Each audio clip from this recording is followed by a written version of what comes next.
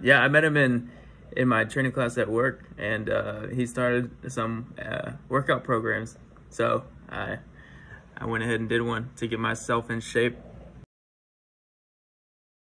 I reached out to Arvanh. Well, one obviously to to get uh, in shape, and two just because he was a good friend of mine, awesome person, and if I was getting trained by anybody, it was gonna be be Arvanh.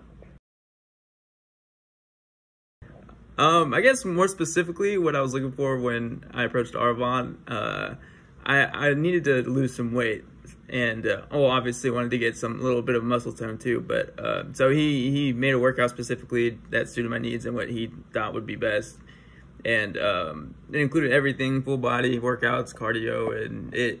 And I saw uh, results pretty quick. It was it ended up being being a really good program.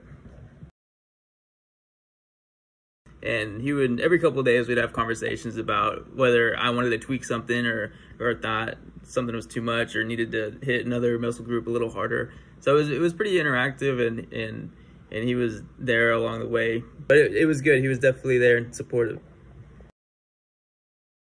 He made me feel like if I put in the work, I would get to where I needed to go, which was I think the main thing for me. It was actually pretty good. I think uh, one of the main things I think is whenever I start to get in a routine of exercising and being physically active and healthy, it gets it kind of gets me in a better just lifestyle. I start eating a little better and stuff, and I actually saw some weight loss pretty pretty quick after just the first couple weeks. It's hard to uh, get in shape during quarantine when you, you don't want to go to a gym, or it's hard to find like at home workouts and stuff like that. But he made it really easy for me to just to get a workout in with the the limited equipment I have at my apartment complex.